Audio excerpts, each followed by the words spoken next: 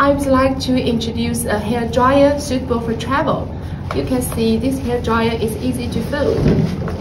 And the light, compact and small design of the hair dryer with concentrator. It's best dryer for your travels. Easily store this blower in your luggage and so your travel hair dryer is on hand when you need it most. And we also have two speeds and three heat settings and here we have a cool button.